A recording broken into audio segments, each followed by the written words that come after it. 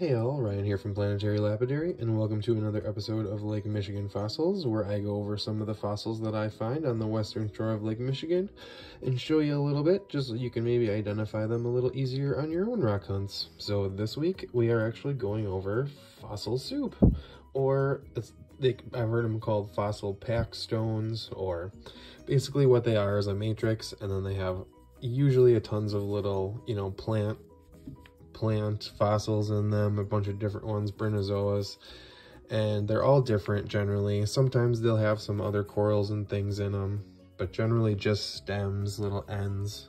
This was a cool one I found that has all those little little stems in there. I don't know if you can see them right now. Kind of both sides. The matrix is usually like this limonite stained, I'm not sure what it is color, or just a regular, you know, basalt or limestone color.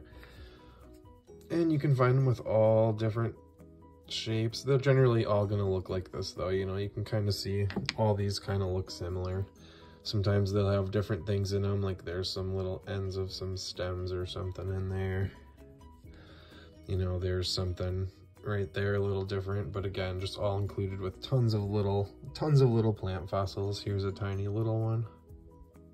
Age on these guys really varies, you know. Um, there's one with a little, I don't know, something in there.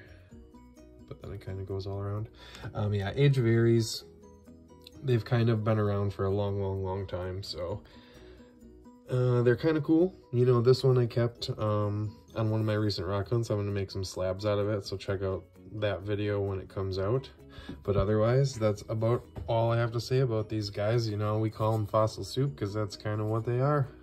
But you'll find a lot of them out on your rock hunts on Lake Michigan. I find a lot of it. This is really all, just all the pieces I've kept.